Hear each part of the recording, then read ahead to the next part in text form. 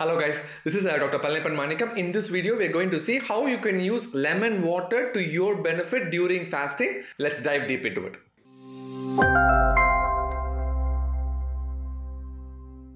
In this channel, we have been promoting sunrise to sunset fasting method for a long time and I know that many people have gotten benefit out of this. If you think these videos are helping, please consider donating to our non-profit organization called Aishwaryam Trust. This is a hospice patient care nursing home that is being run completely free of cost for close to 50 patients until they die. Please look up the link that is mentioned below in the description. The biggest problem in adopting the sunrise to sunset method of eating is consistency. People get really motivated, they do it for three weeks and then they lose motivation and they don't do it at all. First week, you have self control and you lock yourself inside the room. Second week, you go near the kitchen but you come back. Third week, the kitchen itself is on your plate. Sometimes people are consistent and they go until two to three months, but they don't see any external changes. They lose motivation and they go back to their previous routine. This is a very, very common thing that we see. Remember, external changes happen after a while. There are lots of internal changes happening because it is a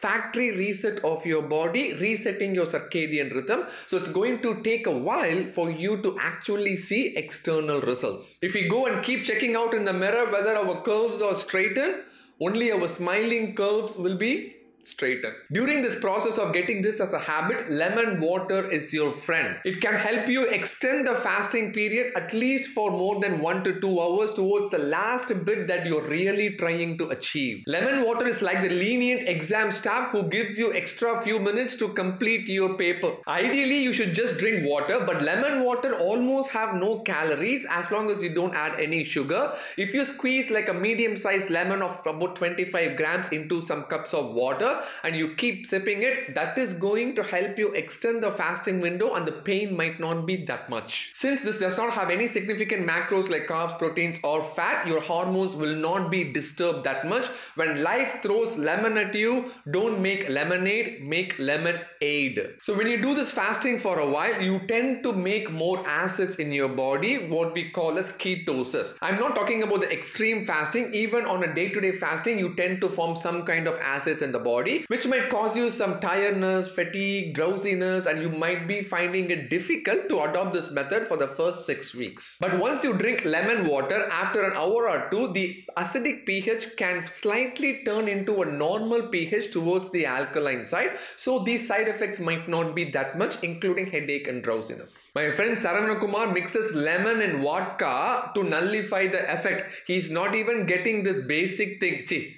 acidic thing. In addition, lemon water has been shown to contain this phytonutrients called naringin, which is shown to decrease insulin resistance, promote glucose uptake, but all these are in animal studies, not significant in human studies. But I strongly believe that we could use this advantage to our benefit while we are adopting this fasting method. My neighbor to decrease blood glucose level, she puts on the Lululemon pan, goes for a walk and comes back with Kaju Katli sweet for this lemon water is much better. When you drink lemon water, it is absolutely essential not to add any kind of sugar. Any product with vitamin C which is mixed with sugar, our body absorbs only the sugar 90% of the time. Only 10% is vitamin C. In addition, when you add sugars, it contains carbs, it will stimulate insulin, it will reset your circadian rhythm problem again. So when you use lemon water, it is absolutely important that you don't add any sugar in it. I still remember drinking Tang, the orange powder that you mix and then drink it as an orange juice.